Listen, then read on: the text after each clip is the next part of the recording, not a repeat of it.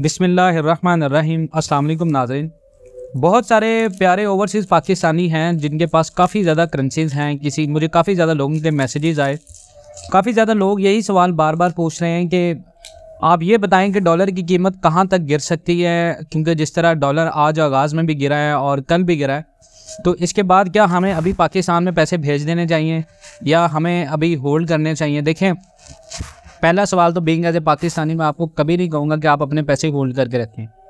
आपका जितना ज़्यादा रेमिटेंस आएगा, उतना ज़्यादा हमारे मुल्क को फ़ायदा, उतना ज़्यादा पाकिस्तान को फ़ायदा।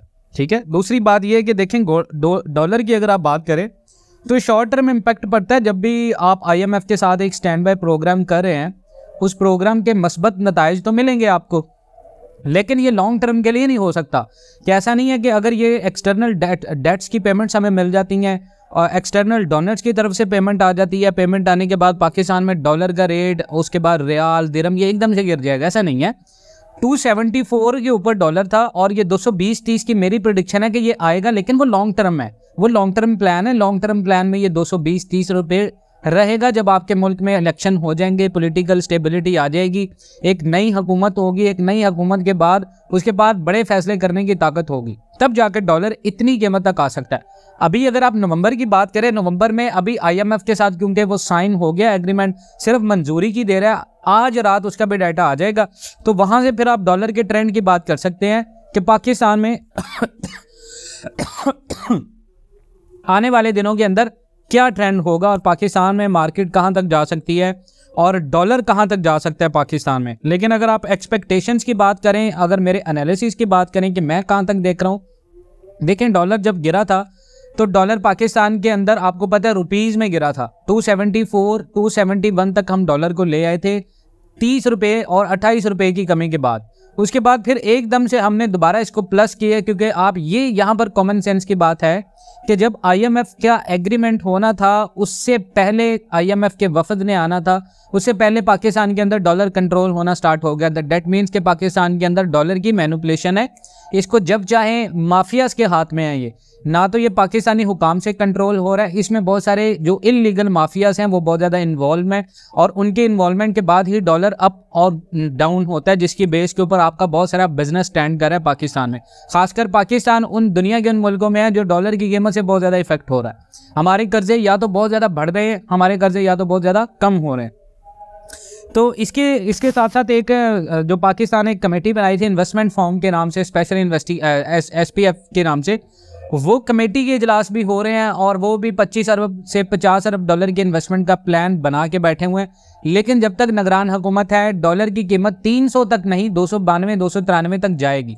डॉलर ने एक अपना हाई भी लगाना है, ये मैं आपको पहले भी प्रिडिक्ट कर चुका हूँ और इस, अब भी ये प्रिडिक्ट कर रहा हूँ। इवन के डॉलर कम हो रहा है, मैं आपको बता रहा हूँ कि डॉलर ने एक दफ़ा अपना हाई लगाना है, चाहे वो तीन सौ बीस रुपये का लगाए, चाहे वो तीन सौ तीस रुपये का लगाए। मे बी इलेक्शन तक या इलेक्शन के थोड़ा देर पहले पाकिस्तान के अंदर डॉलर का हाई लगेगा और इस हाई के अंदर बहुत सारे लोगों के पास चांस होगा।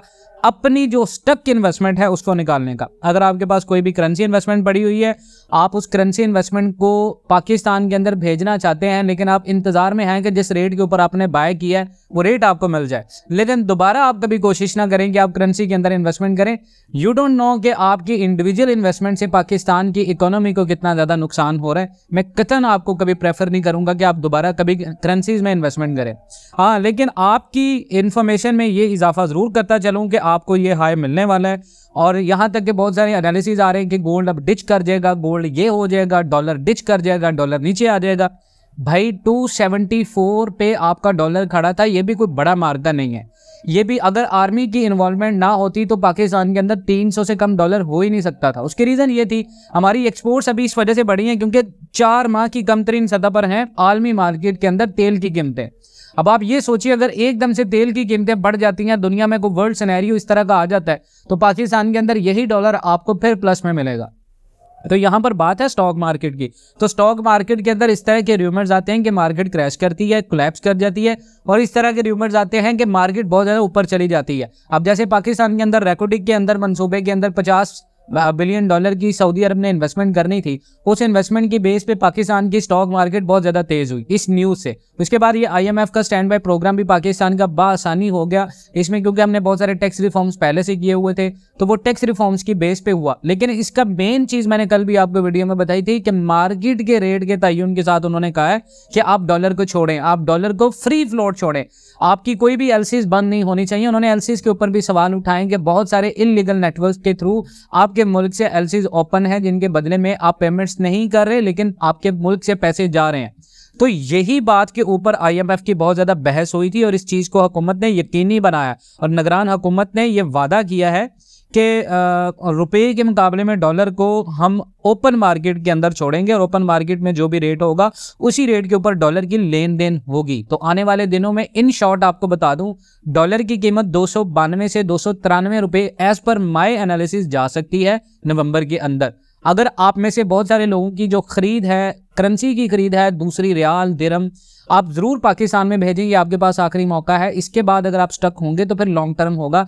फिर जून के अंदर जाके आपको वो रेट्स मिलेंगे जिसके ऊपर आप इसको सेल आउट करना चाहते हैं। मजीद इस तरह की अपडेट्स के लिए ग्रुप भी बनाया लिंक में दिया आपको ग्रुप उसको ज्वाइन करें। फ्री ऑफ़ कॉस्ट ग्रुप है, लेकिन सजेशन के लिए सिर्फ़ एक पेड ग्रुप है, बाकी सारे ग्रुप्स आपके जो आपको मिलते हैं वो बिल्कुल फ्री हैं। आप उन ग्रुप से फ़ायदा ले सकते हैं इंपॉर्टेंट अपडेट्स की। जुड़े रहिए पाकिस्तान एंड वर्ल्ड टीवी के साथ। इंशाल्लाह मिलते हैं नेक्स्ट वीडियोस में। तब तक के लिए अल्लाह हाफिज़।